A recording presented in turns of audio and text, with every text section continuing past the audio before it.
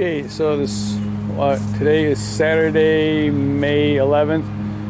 A lot of uh, solar flares, MX class, some shit's going on, man.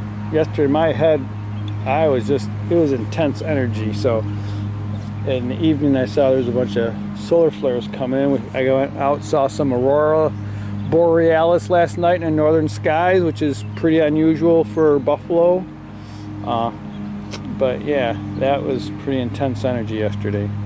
Anyways, we got these all put in here, trimmed up, and uh, that one moves a little bit yet. I'm gonna have to fix that one. So stepping on the ends, the other ends shouldn't really pop up. We're gonna get some wood chips in here, and then we have to fill in the, the pipe with some stone. So we're gonna lock all these pieces in with some wood chips, so then we can get the stone in. Right, a couple loads of wood chips.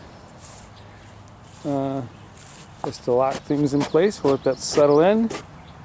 We gotta get stone from there. I might get the tractor going for that just because stone's heavier and I gotta haul it pretty far.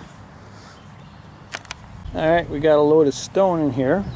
We put stone in the trench and we used the pry bar uh, I think we used the butt end to tamp along the pipe and the log on both sides to get the sides all tamped down. And then we put uh, another coating of stone another lift of stone. And I have to get the sledgehammer.